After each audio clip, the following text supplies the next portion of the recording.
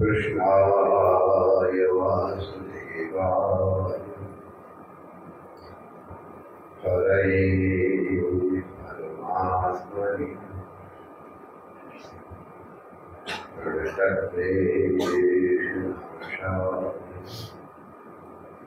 श्री गोविन्दाय नमो।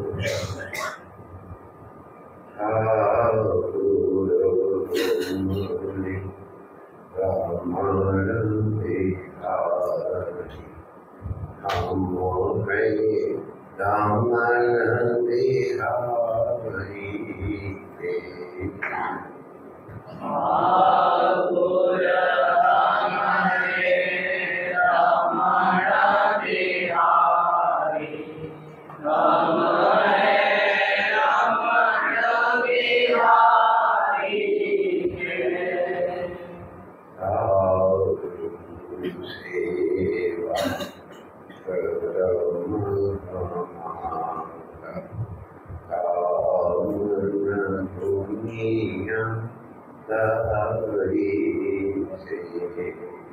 के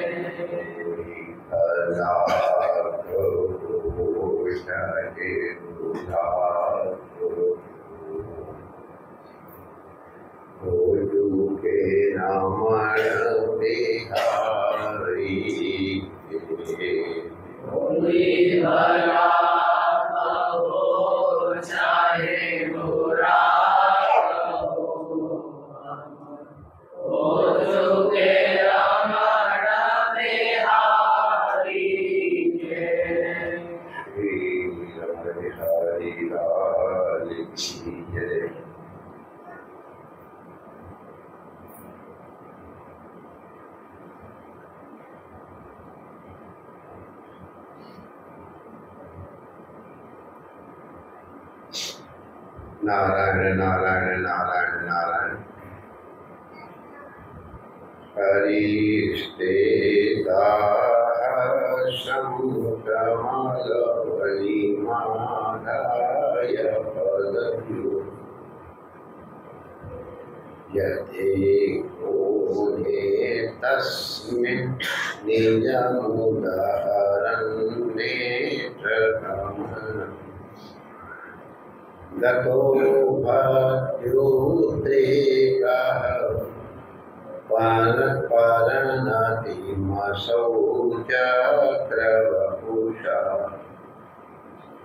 प्रयाणां रक्षायै त्रिपुरहरजागर्ति जगताम् अद्भुत भगवान भोलेनाथ की सर्वव्यापकता भगवान भोलेनाथ की सर्व ईश्वरता हम लोगों ने दर्शन की भक्ति परवशता के और महादेवत्व के दर्शन कर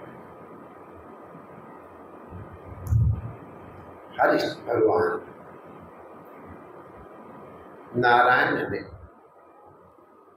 एक बार भोलेनाथ को सहस्र कमल भगवान भोलेनाथ के दिव्य सहस्र नाम से अर्चन करने का संकल्प।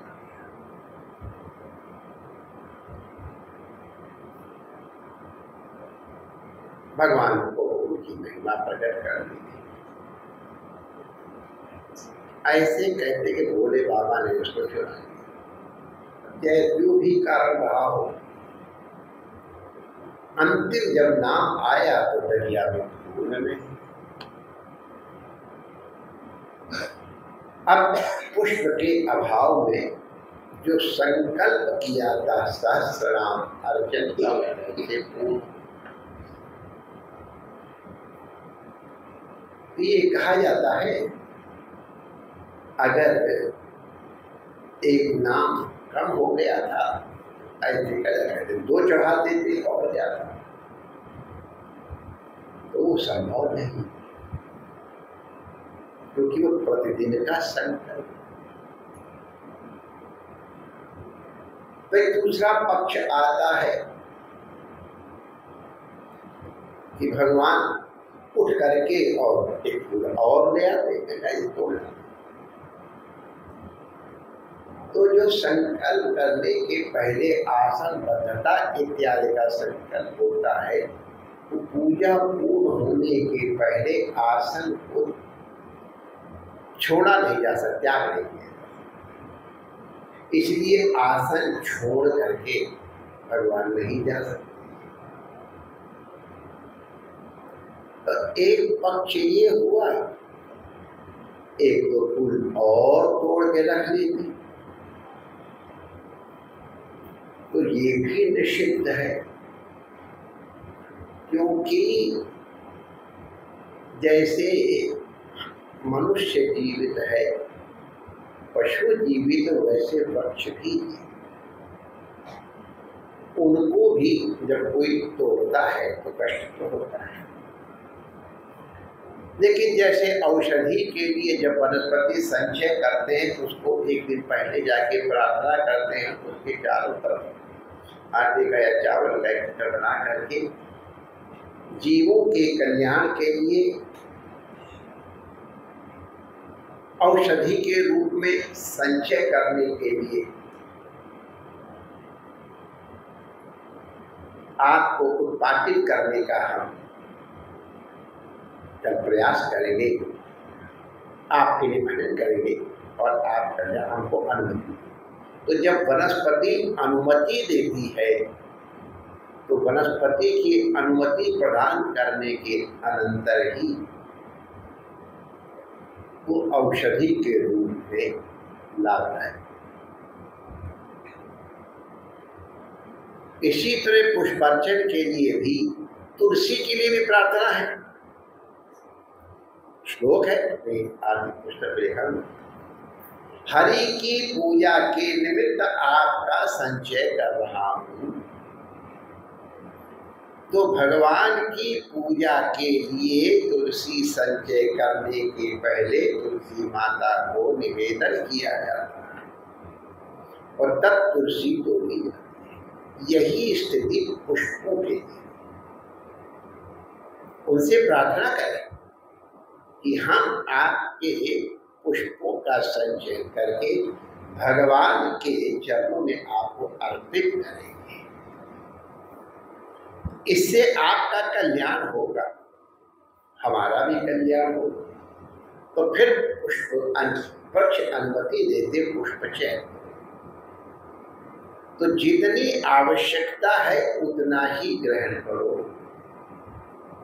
अधिक ग्रहण करेंगे तो फिर आप प्रमाद कर रहे हैं। वनस्पति को व्यर्थ में कष्ट दे रहे हैं। अगले दिन कर लो। तो वो संचय किया हुआ फूल अगले दिन बासी हो जाता है। इसलिए अधिक भी नहीं इकट्ठा किया।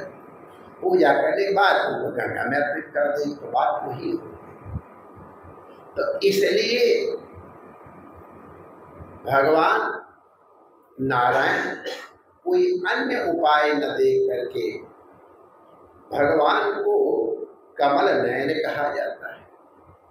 कमल एक क्षण कमला भज कमल नाम श्री रामचंद्र कृपाल भजमन हरण भोग नव कंज लोचन कंज तो भगवान के नेत्र कमल है। तो अब उठ सकते नहीं है। और कोई उपाय नहीं है तो कमल के रूप में अपने नेत्र को ही अर्पित करने का भगवान ने प्रयास किया।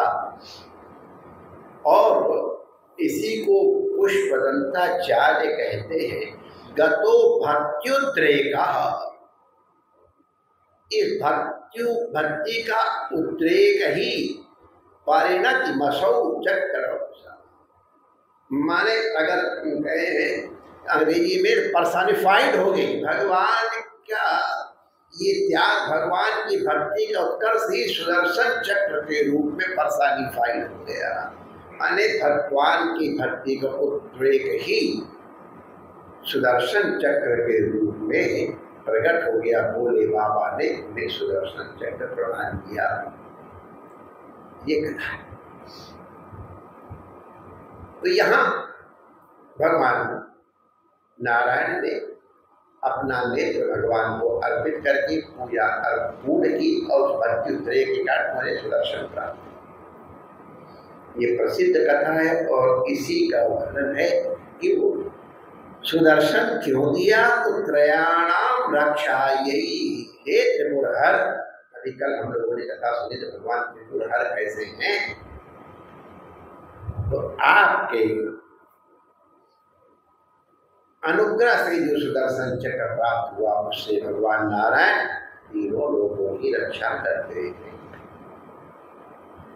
तो भगवान की भक्ति का उद्रेक सब कुछ कर सकते नारायण को भी समर्पण। जो चीज़ें बताई गई अब उसमें जो भगवान तो पहली सृष्टि की रक्षा में और पालन में प्रयुक्त थे, उनकी सामर्थ्य है। इसलिए अगर वो अपने नेत्र कमल अर्पित कर रहे तो उनको दोष नहीं। कृपा करके सामान्य लोग इस तरह की चेष्टा न करें। भगवान की नकल न करें। सामान्य जीव अगर अपने नेत्र को उखाड़ेगा तो रक्त प्रवाह होगा। रक्त प्रवाह होने के कारण पूजा अशुद्ध हो जाएगी। इसलिए सामान्य जीव इस तरह न करे इसको इस तरह से भी देखे। भगवान शिव को अपनी दृष्टि प्रदान करने से भगवान हमारी दृष्टि को सुदर्शन बना देते सुदर्शन बना देने से हमको जागृत स्वप्न सुषुप्ति ये तीनों अवस्थाओं में जो जीव का स्वरूप है, उसका भान हो जाता और इस तरह से त्रयाणाम रक्षा यही जीव की रक्षा सुदर्शन माने शोभन दर्शन। अगर कर्म के रूप में देखें तो ये सब कर्म के लिए प्रेरित करता है। ज्ञान की दृष्टि से कहें तो ये अज्ञान निवृत्ति पूर्वक नेत्रों में ज्ञान, स्वरूप ज्ञान की परिणति करा देता है। सुदर्शन का तात्पर्य है, हमारा दर्शन अच्छा हमारा आज दर्शन बिगड़ गया। अभी सृष्टि नहीं बिगड़ी है, हम लोगों ने कथा सुनी है। हमारी दृष्टि बिगड़ गई है। अगर हमारी दृष्टि सुधर जाए तो हमारी सृष्टि अपने आप सुधर जाएगी। सृष्टि नहीं बिगड़ती है, हमारी दृष्टि बिगड़ती है। दृष्टि कैसे सुधरे? हमारी दृष्टि सुदर्शन कैसे बने? भगवान को अपनी दृष्टि अर्पित करे शरण तो धर्म में प्रवृत्ति के द्वारा भी और ज्ञान में उपलब्धि के द्वारा भगवान को अपनी दृष्टि प्रदान करना जीव के कल्याण के लिए। भगवान नारायण भी पालन करते हैं, इसका मतलब नहीं, कोई मरता नहीं है। पालन करने का तात्पर्य जो व्यवस्था है, उसके अनुसार वो जब तक है, तब तक जीवित रहे, उनके प्रारंभ से जो मिला वो चले। अगर सबको ज़िंदगी में रखते तो सृष्टि चलेगी कैसे? जगह कहाँ बचेगी? तो जाना आना लगा रहेगा। लेकिन वो सत्कर्म में लगे। असत कर्म करने का निवारण करने के लिए यदा यदा ही धर्म से ग्लानी बहुत इस प्रतिज्ञा के अनुसार जो दुष्ट कृत है, उनके दुष्कृतता के निवारण के लिए अपनी लीलाओं के द्वारा, अथवा उनका कल्याण उनके निर्माण के द्वारा भी करते हैं। उनकी कथाओं को सुन करके भी जीवों का उद्धार होता है। त्रयाणाम रक्षाइए इसका तात्पर्य भी है। भगवान शिव का अनुग्रह प्राप्त करें। जो मर्यादा अनुसार पूजा है उसका पालन करें और कन्या के भागी देश में